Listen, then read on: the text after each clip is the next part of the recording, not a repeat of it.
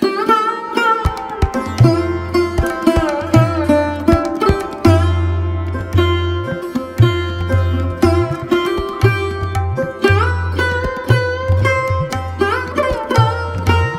ਬਟਾਲਾ ਵਿਖੇ ਗੁਰੂ ਨਾਨਕ ਦੇਵ ਜੀ ਦੇ ਵਿਆਹ ਪੁਰਬ ਮੌਕੇ ਮਹਾਨ ਨਗਰ ਕੀਰਤਨ ਕੱਢਿਆ ਗਿਆ ਤੇ ਉੱਥੇ ਹੀ ਵੱਖ-ਵੱਖ ਸ਼ਹਿਰਾਂ ਦੇ ਵਿੱਚ ਗੁਰੂ ਨਾਨਕ ਦੇਵ ਜੀ ਦੇ ਵਿਆਹ ਪੁਰਬ ਮੌਕੇ ਨੂੰ ਲੈ ਕੇ ਵੱਖ-ਵੱਖ ਥਾਵਾਂ ਤੇ ਲੰਗਰ ਲਗਾਏ ਗਏ। ਤੁਹਾਨੂੰ ਦੱਸ ਦਈਏ ਕਿ ਲੁਧਿਆਣਾ ਵਿੱਚ ਸਥਿਤ ਗੁਰਦੁਆਰਾ ਸਾਹਿਬ ਗਊ ਘਾਟ ਵਿਖੇ ਵੀ ਗੁਰੂ ਨਾਨਕ ਦੇਵ ਜੀ ਦਾ ਵਿਆਹ ਪੁਰਬ ਸਮਾਗਮ ਮਨਾਇਆ ਗਿਆ। ਉੱਥੇ ਹੀ ਵੱਖ-ਵੱਖ ਕੀਰਤਨ ਰਾਗੀ ਸਹਿਬਾਨਾਂ ਦੇ ਵੱਲੋਂ ਕੀਰਤਨ ਕਰਕੇ ਸੰਗਤਾਂ ਨੂੰ ਨਿਹਾਲ ਕੀਤਾ ਗਿਆ ਤੇ ਨਾਲ ਹੀ ਦੂਰੋਂ ਦੂਰੋਂ ਸੰਗਤਾਂ ਹੁਮ ਹੁਮਾ ਕੇ ਪਹੁੰਚੀਆਂ ਸਨ। ਤੁਹਾਨੂੰ ਦੱਸ ਦਈਏ ਕਿ ਗੁਰਦੁਆਰੇ ਸਾਹਿਬ ਦੇ ਵਿੱਚ ਵੱਖ-ਵੱਖ ਲੰਗਰਾਂ ਦਾ ਵੀ ਪ੍ਰਬੰਧ ਕੀਤਾ ਗਿਆ ਸੀ। ਜਿੱਥੇ ਸੰਗਤਾਂ ਵੱਖ-ਵੱਖ ਥਾਵਾਂ ਤੋਂ ਆ ਕੇ ਦਰਸ਼ਨ ਕਰਨ ਲਈ ਆਈਆਂ, ਉੱਥੇ ਹੀ ਵੱਖ-ਵੱਖ ਰਾਗੀ ਸਹਿਬਾਨਾਂ ਦੇ ਵੱਲੋਂ ਵੀ ਇਹ ਕੀਰਤਨ ਕਰਕੇ ਸੰਗਤਾਂ ਨੂੰ ਨਿਹਾਲ ਕੀਤਾ ਗਿਆ। ਆਓ ਤੁਹਾਨੂੰ ਵੀ ਦਿਖਾਉਂਦੇ ਆ ਲੁਧਿਆਣਾ ਤੋਂ ਗੁਰਦੁਆਰਾ ਸਾਹਿਬ ਗਊ ਘਾਟ ਦੀਆਂ ਤਸਵੀਰਾਂ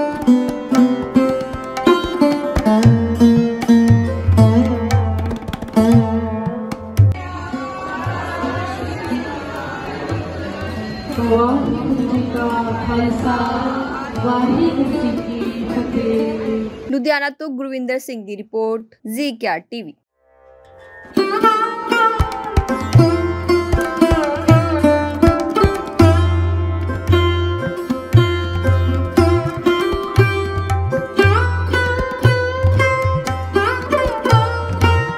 ਬਟਾਲਾ ਵਿਖੇ ਗੁਰੂ ਨਾਨਕ ਦੇਵ ਜੀ ਦੇ ਵਿਆਹ ਪੁਰਬ ਮੌਕੇ ਮਹਾਨ ਨਗਰ ਕੀਰਤਨ ਕੱਢਿਆ ਗਿਆ ਤੇ ਉੱਥੇ ਹੀ ਵੱਖ-ਵੱਖ ਸ਼ਹਿਰਾਂ ਦੇ ਵਿੱਚ ਗੁਰੂ ਨਾਨਕ ਦੇਵ ਜੀ ਦੇ ਵਿਆਹ ਪੁਰਬ ਮੌਕੇ ਨੂੰ ਲੈ ਕੇ ਵੱਖ-ਵੱਖ ਥਾਵਾਂ ਤੇ ਲੰਗਰ ਲਗਾਏ ਗਏ। ਤੁਹਾਨੂੰ ਦੱਸ ਦਈਏ ਕਿ ਲੁਧਿਆਣਾ ਵਿੱਚ ਸਥਿਤ ਗੁਰਦੁਆਰਾ ਸਾਹਿਬ ਗਊ ਘਾਟ ਵਿਖੇ ਵੀ ਗੁਰੂ ਨਾਨਕ ਦੇਵ ਜੀ ਦਾ ਵਿਆਹ ਪੁਰਬ ਸਮਾਗਮ ਮਨਾਇਆ ਗਿਆ। ਉੱਥੇ ਹੀ ਵੱਖ-ਵੱਖ ਕੀਰਤਨ ਰਾਗੀ ਸਹਿਬਾਨਾਂ ਦੇ ਵੱਲੋਂ ਕੀਰਤਨ ਕਰਕੇ ਸੰਗਤਾਂ ਨੂੰ ਨਿਹਾਲ ਕੀਤਾ ਗਿਆ ਤੇ ਨਾਲ ਹੀ ਦੂਰੋਂ ਦੂਰੋਂ ਸੰਗਤਾਂ ਹੁਮ ਹੁਮਾ ਕੇ ਪਹੁੰਚੀਆਂ ਸਨ। ਤੁਹਾਨੂੰ ਕਿ ਗੁਰਦੁਆਰੇ ਸਾਹਿਬ ਦੇ ਵਿੱਚ ਵੱਖ-ਵੱਖ ਲੰਗਰਾਂ ਦਾ ਵੀ ਪ੍ਰਬੰਧ ਕੀਤਾ ਗਿਆ ਸੀ। ਜਿੱਥੇ ਸੰਗਤਾਂ ਵੱਖ-ਵੱਖ ਥਾਵਾਂ ਤੋਂ ਆ ਕੇ ਦਰਸ਼ਨ ਕਰਨ ਲਈ ਆਈਆਂ, ਉੱਥੇ ਹੀ ਵੱਖ-ਵੱਖ ਰਾਗੀ ਸਹਿਬਾਨਾਂ ਦੇ ਵੱਲੋਂ ਵੀ ਇਹ ਕੀਰਤਨ ਕਰਕੇ ਸੰਗਤਾਂ ਨੂੰ ਨਿਹਾਲ ਕੀਤਾ ਗਿਆ। ਆਓ ਤੁਹਾਨੂੰ ਵੀ ਦਿਖਾਉਂਦੇ ਆ ਲੁਧਿਆਣਾ ਤੋਂ ਗੁਰਦੁਆਰਾ ਸਾਹਿਬ ਗਊ ਘਾਟ ਦੀਆਂ ਤਸਵੀਰਾਂ